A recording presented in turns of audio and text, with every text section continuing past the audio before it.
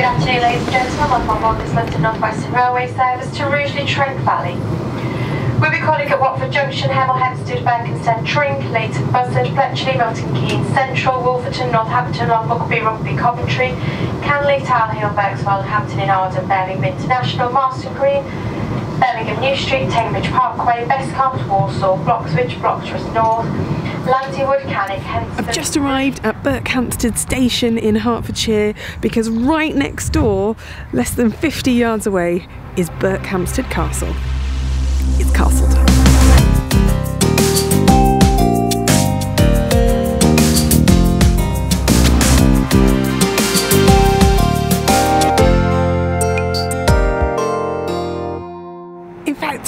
Castle is so close to the railway that when the railway was built in the 19th century, it actually cut through some of the original castle site. Whilst today the castle is just a ruin, it marks the location of one of the most significant moments in English history, for it was here that William the Conqueror officially received the surrender of the English in 1066. After the Normans' victory at Battle, their next task was to take London. But instead of rushing to the capital, William decided to subdue as much of southern England as he could along the way. Deviating around the Kent coast, William successfully and easily took control of Dover, Canterbury, and Rochester. Upon reaching London from the south, he discovered the only access point across the Thames at London Bridge was blocked and well defended. Unfazed, William took the opportunity to continue his progress, heading southwest to gain control of Winchester, where the treasury was kept and where he met with reinforcements from France. At Wallingford in Oxfordshire, William received the surrender of the Archbishop of Canterbury. Further north, at Berkhamsted, he met with the Archbishop of York, key military leaders, and Edgar Etheling, the Saxon claimant to the throne, who, after negotiations, all surrendered to William and his Norman army.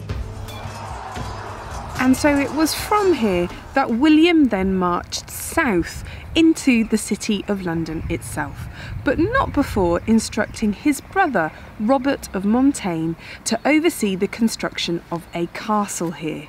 The castle's purpose was to defend the northern entry into London against anyone who might oppose William. The castle was built in a typical Norman motte and bailey style. It had a moat as well as a secondary defensive ditch which ran around the entire castle perimeter, making it particularly well defended.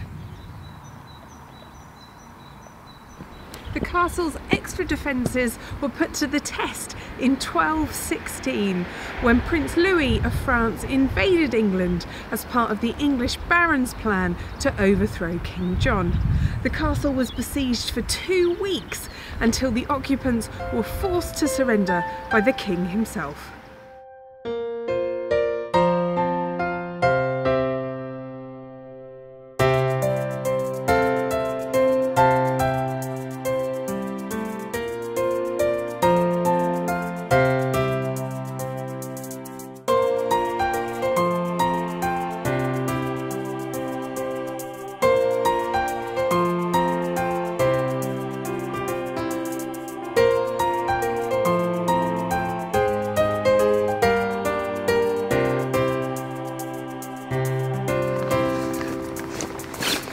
Over the years, the castle remained a defensive fortress and was home to monarchs as well as several noblemen, including Thomas Becket, later Archbishop of Canterbury, and then later still, Saint. It was a favourite home of the Black Prince, who was the son of Edward III. But it was after the reign of Elizabeth I that the castle first fell into disrepair, and by the 16th century it's thought that much of the castle's stonework was plundered to build property in the nearby town of Berkhamsted itself.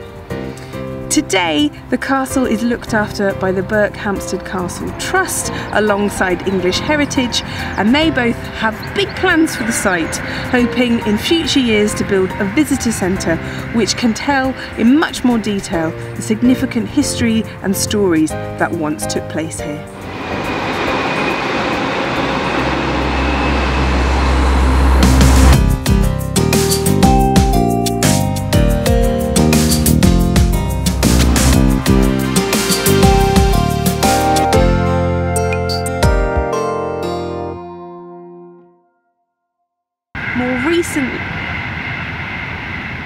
There is a train.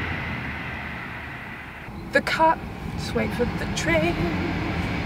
But not before instructing his brother, Robert of Mortain. Oh, train.